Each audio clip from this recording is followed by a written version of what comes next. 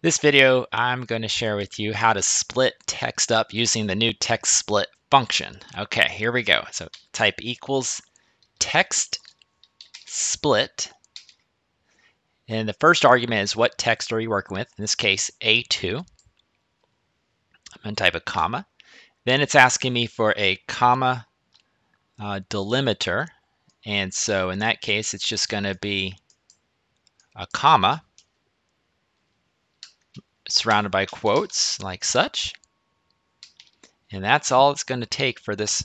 And what will happen now is it will spill. The term spill it means that it you can see kind of this blue line around that. That might be new. It's for you here. And notice that when I click on the first cell, the text split is a darker color here. Then if I click anywhere in the middle of the spill, you can see it's it's kind of like ghost-like appearance there.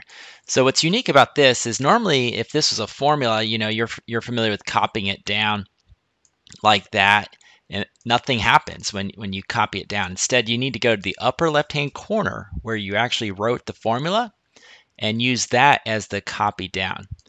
And if you're familiar with double clicking, double clicking doesn't work. So if you had a lot of rows, you would have to copy it down as best like that. But it is pretty amazing and lots of new capabilities of using the text split basically um, as an alternative to the text to columns option here.